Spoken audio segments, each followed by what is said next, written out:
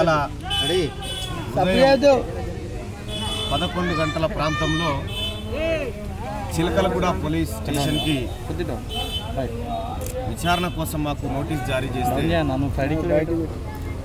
అనుకున్న సమయానికి వచ్చి పూర్తి స్థాయిలో పోలీసులు కోఆపరేట్ చేస్తారు అన్ని వివరాలు.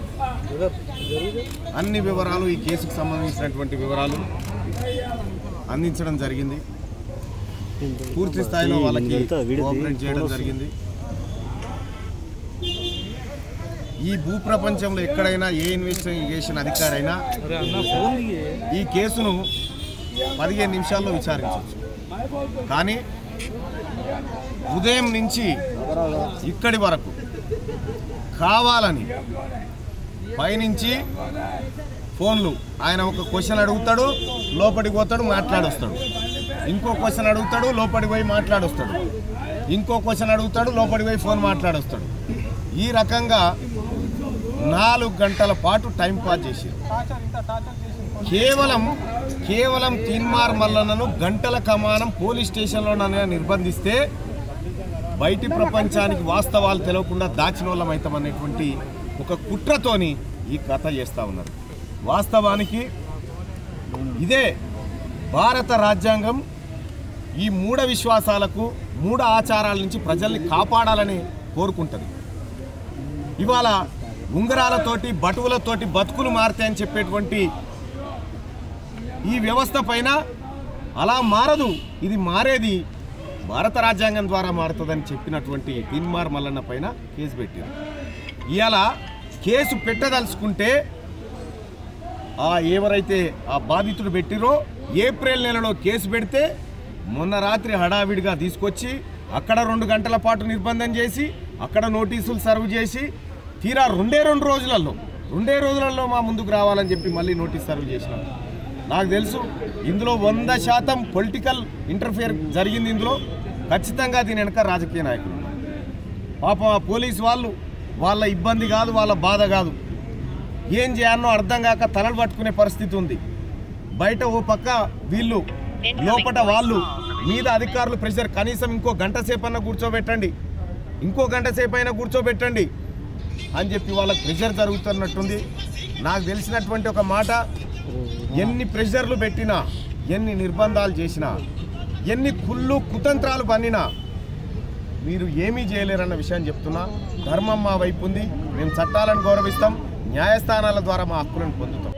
ఎల్లుండి అంటే ఎనిమిది తారీఖు రోజు ఉదయం పది గంటలకు మళ్ళీ ఇక్కడికి రమ్మని మళ్ళీ నోటీస్ ఇచ్చినారు.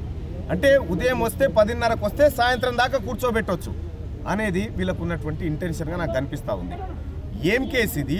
ఒకవేళ ఇలాంటి కేసులను విచారణ చేయాలనుకుంటే ఏసీపీ స్థాయి అధికారులు సిఐలు అందులో కూర్చొని ఉన్నతాధికారులు కూర్చొని ఒక చిన్న అంశం పట్ల ఇంతసేపు విచారణ చేస్తే మీ పోలీస్ స్టేషన్లో పెండింగ్లో ఉన్నటువంటి అంశాలపైన మీరు ఇంతగానం ఇన్వెస్టిగేషన్ చేయగలుగుతారా?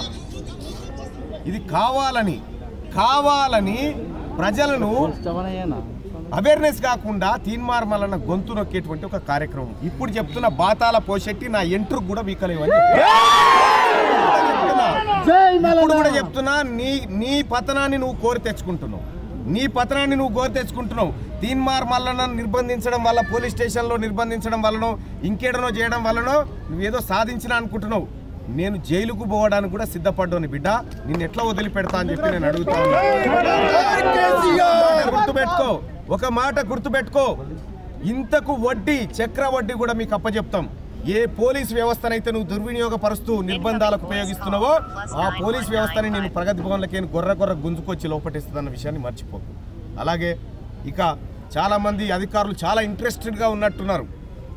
ప్రతి క్వశ్చన్ ఎప్పటికప్పుడు తెలుసుకుంటూ నాలుగు గంటల పాటు క్వశ్చన్. ఈ నాలుగు గంటల పాటు క్వశ్చన్ చేసేటువంటి తీన్మార్ మల్లన్నను కాదు. ఈ దొంగల ముఠాను క్వశ్చన్ చేస్తే ఈ రాష్ట్ర బడ్జెట్ అంత ఎటుపోయిందో తేలుతుంది. ఇటువంటి చేయాల్సినటువంటి పోలీస్ అధికారులు అధికారంలోకి ఈ పోలీస్ వాళ్ళకు కూడా చెప్తా ఉన్నా కేసీఆర్ మీకు జీతాలు ఇస్తలేడు.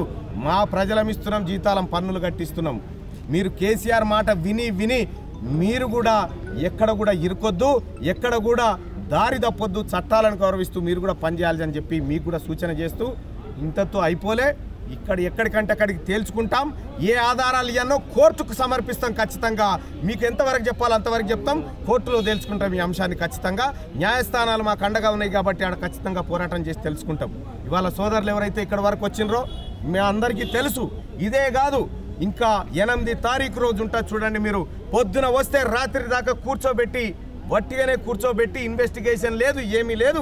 మీరు చూడరు ఏం చేస్తారో మీరు చూడరు ఎనిమిది తారీఖు రోజు అసలు కథ ఉంటుంది. ఖచ్చితంగా వీటిని తేల్చుకుంటాం న్యాయస్థానాల ద్వారా. హక్కులు పొందుతాం ఇక్కడ. న్యాయస్థానాలు లేకపోతే హరిగోసపెట్టేటువంటి వ్యవస్థ ఇదంతా. ఏబిఎస్ కార్పస్ కూడా కొద్దిసేపటి క్రితమే మూవ్ చేయడం జరిగింది. ఈ దమనకాండను ఆపడానికి హైకోర్టును ఆశ్రయించడం జరిగింది కొద్దిసేపటి క్రితమే. ఖచ్చితంగా న్యాయస్థానాలపైన మాకు నమ్మకం ఉంది. మా పక్షాన నిలబడతాయని చెప్పి ఈ పేదవాళ్ళ పక్షాన న్యాయస్థానాలు నిలబడతాయని పూర్తి విశ్వాసంతో ఇన్వెస్టిగేషన్కు పూర్తిగా సహకరిస్తాం. ఇక ముందు ఎన్నిసార్లు పిలిచినా వస్తాం. కానీ టైం పాస్ కథలు బంద్ చేయరని మాత్రం చెప్పగలుగుతాం.